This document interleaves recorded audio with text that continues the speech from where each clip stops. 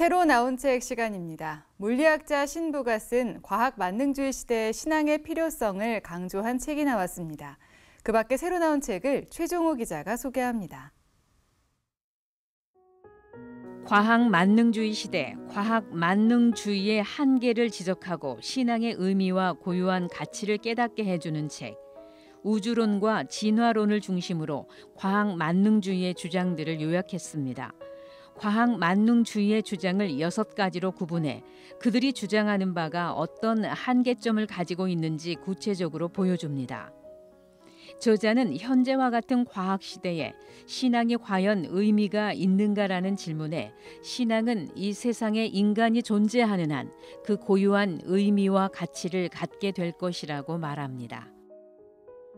아담을 시작으로 모두 27명의 신앙의 인물들을 소개한 박영동 목사의 마지막 성경 인물 탐구서.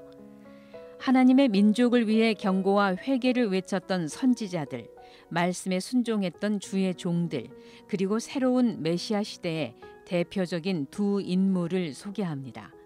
삶으로 설명한 신앙 마지막 이야기에서는 히스기야, 이사야, 에레미야, 에스겔, 다니엘, 에스라, 느에미야, 베드로, 바울을 만날 수 있습니다.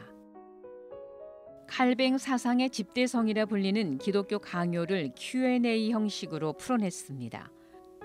기독교 강요는 16세기 프로테스탄트 종교 개혁의 물줄기 가운데 추빙글리로부터 출발한 개혁 교회 전통을 대표하는 책으로 성경의 의미를 분명하게 밝히고 있습니다.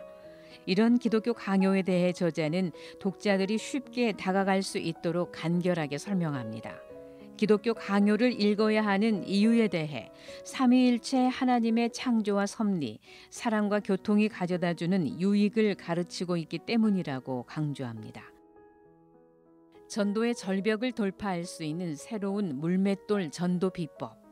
물맷돌 전도 비법으로 예수님의 사용 모델 다섯 가지를 통해 저자가 목격하고 경험한 전도의 과정을 소개합니다.